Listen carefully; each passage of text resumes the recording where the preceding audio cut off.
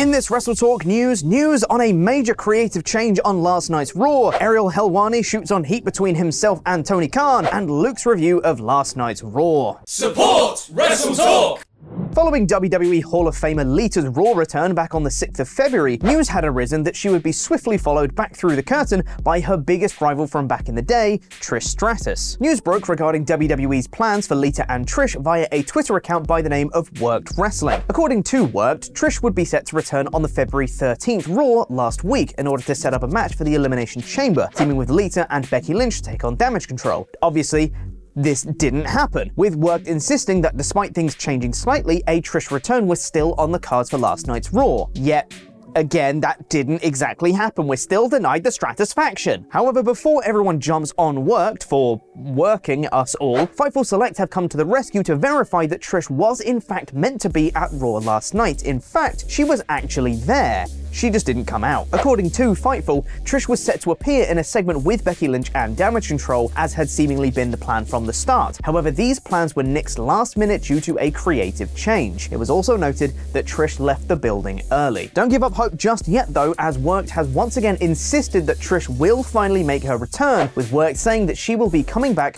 for a storyline she's wanted to do for a long time. Moving over to one of the spiciest situations that occurred over the weekend, that being the beef between AEW President Tony Khan and MMA and pro wrestling journalist Ariel Helwani. The pair have had their differences in the past, most notably due to TK's controversial appearance on Helwani's MMA Hour podcast in October, where, according to Helwani, he dodged questions, namely regarding the brawl out situation, as well as beef starting between MJF and Tony Khan due to MJF's appearance in an interview with Ariel Helwani. So, yeah, they're not exactly exchanging birthday cards. However, the issues in question arose following Helwani's involvement on last night's Friday SmackDown from Montreal, where Helwani provided build for the Sami Zayn vs Roman Reigns match at Elimination Chamber, something Tony took issue with, calling Helwani a fraud for appearing on WWE TV. This incited a short back and forth between the two, which, according to Helwani on his latest MMA Hour podcast, caught fire in the WWE locker room and popped the boys in the back, with Helwani's use of the term snowman to describe Khan getting a particularly big reaction backstage. Dave Meltzer added to this on Wrestling Observer Radio, saying that line in particular made Helwani the star of stars within WWE. Helwani's WWE involvement that weekend, of course, did not end there, appearing both on the kickoff panel for the Chamber event as well as being shown in the front row alongside MMA legend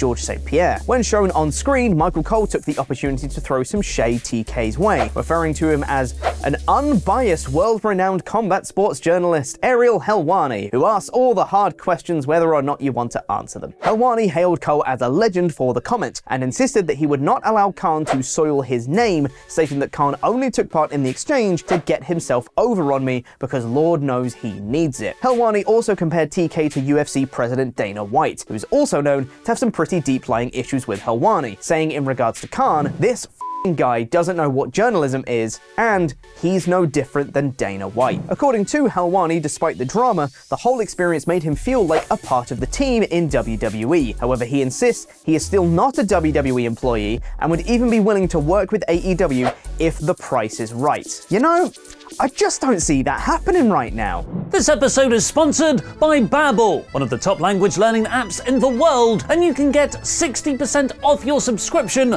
by clicking our link below. In less time than it takes to watch SmackDown every week, Babbel can help you learn a whole new language, improve your career prospects, connect better with people from different countries, and learn how to say Dos Cervezos por favor for your holidays to impress your mates. One of our video editors, for instance, is French. I used to try to talk to her like this. CGI a tiny hat on my head, Terry. But now, thanks to Babbel, I can talk to her in her native tongue. CGI on petit chapeau sur ma tête, Terry.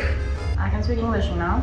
Babbel is scientifically proven to help you start learning a new language in three weeks by teaching real-world conversations, preparing you to have practical chats about travel, business, relationships, and more. So start your self-improvement journey on learning a new language today by downloading Babbel using our link below, where you'll get 60% off your subscription. And comment below with what language you want to learn. See, see. See, please click that link as not only does it help support you as a person, it also helps us pay for people like Terry. I'm saying if you don't sign up, she doesn't get paid. Jam that jam and learn that language with Babbel. And now it's time for my review of Monday Night Raw, aka you'd be better off watching the YouTube clips or just this review to keep up to date edition of Monday Night Raw in about five minutes. After an excellent video package showing what went down in the main event of Elimination Chamber, we got Sami Zayn kicking off the episode, and thank Crom that he did. A few months ago, I came under fire in the comments section on this channel for saying that the Bloodline wasn't just the best thing in all of WWE, it might be the only good thing in WWE right now. And I do regret that quite hyperbolic statement because there is plenty of good stuff going on right now in the company. But watching this episode of Raw did make me revisit that original statement. This Sami and Bloodline story is so good that nothing else on the show, outside of Cody Rhodes, but we'll get to him in a moment, feels important. The Bloodline story is up here, and everything else is down here. Now, that is way better than the state of WWE this time last year, when every single thing on the show was way down here. But once this Sami segment was over, you could more or less change the channel and just catch up on storylines via clips on YouTube. And even if you didn't, you wouldn't have missed out on much. With all of that out of the way, boy howdy was this a great segment. There were fans who speculated that the final shot of Elimination Chamber would be the embrace of longtime friends and even longer time rivals Kevin Owens and Sami Zayn, but we didn't get that. Some felt that was stupid, while others argued that it made sense, because why would Kevin hug Sami after all that he's done to him over the last few months? And that was exactly KO's point here. Sami says he can't take down the bloodline alone and wants the help of Kevin, but Owens knows he can do it without Sami. He ended this segment with the devastating line, if you want someone to take down the bloodline, Ask your buddy Jay. Holy shirt balls! Both men were excellent here, and it was beyond the loudest the crowd were all night. It's a brilliant next chapter in what has been a phenomenal story. But never mind that shirt, here comes Baron Corbin! Baron Corbin attacks Sami Zayn, and it led to a match that Sami won and went way longer than I ever thought it would do. I guess we do have three hours to fill. Austin Theory cut a promo on Edge, but made sure we all knew that he was facing John Cena at WrestleMania, who returns to Raw in a couple of weeks' time. Mustafa Christopher Ali beat Dolph Ziggler with an excellent reversal of the Famouser and looked surprised that he managed to get a win. The Miz was given a gift by Maurice, which he'll reveal on Miz TV next week, and we got another really good Cody segment as we build towards him versus Roman at Mania. And make no mistake about it, I think we can kiss those ideas of Sami being put in the main event of Mania goodbye.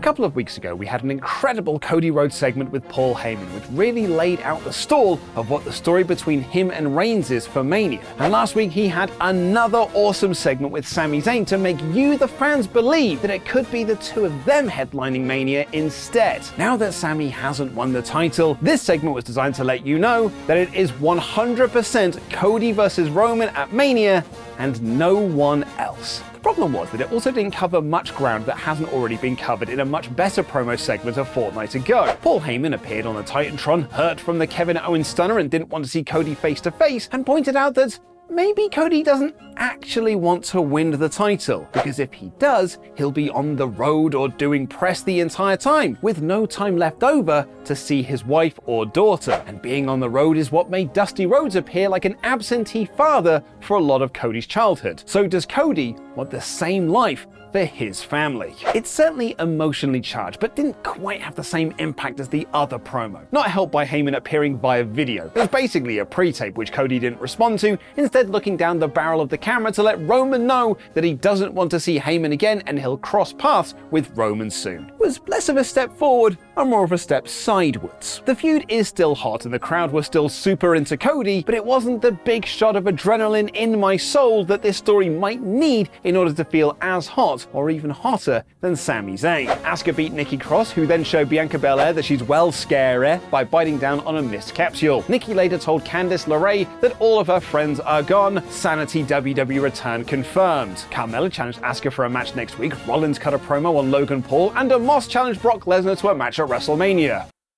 Wait, what? Seth Rollins beat The Miz via ref stoppage when he hit three stomps on him. Chelsea Green did more of her Karen shtick over the phone with Adam Pearce, and Bronson Reed intimidated Chad Gable backstage. Damage Control were guests on Ding Dong Hello, which brought out Becky Lynch, who wanted to challenge for the Raw Women's Tag Team Championships I actually forgot existed, and Bayley said that Becky couldn't challenge for the belts because she has no friends. Mate, are you thick? This happened just a few weeks ago! And sure enough, Lita did return again to set up a tag match for next week. It was done in a very fun way, where Becky and Lita goaded Bayley into accepting the challenge against the wishes of Damage Control, which has been the story of this feud for the last few months. Bronson Reed beat Chad Gable when Gable got distracted by Otis chatting with Maxxine Dupri at ringside, and it was a shame that this distraction also distracted the crowd as they basically missed Gable doing the Chaos Theory on Bronson Reed. That was awesome! Reed won with the tsunami. Elias got beat up by Bobby Lashley, and Edge said that Judgment Day were behind him, which means they're for sure interfering in the main events. And sure enough, Balor distracted Edge, so Austin Theory retained his United States Championship in a very good main event. The action was awesome,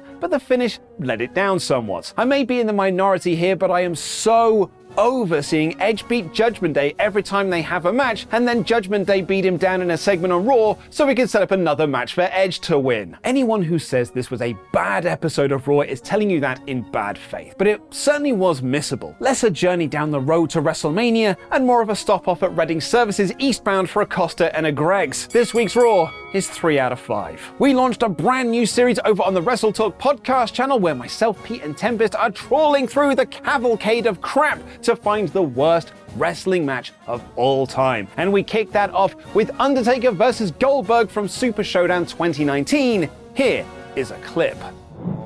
And this, they try and do the. Oh. Oh, no, they just fall down. Why would you do? Why would you try it? They At just this fall point- down, and now Why would they Undertaker's just like, to we a choke just gotta go just gonna do a choke slam. Oh, oh no. And he just sits down. One, two, three. Oh, mercilessly, that's over. When was the oh. last time Undertaker won a match with a choke slam?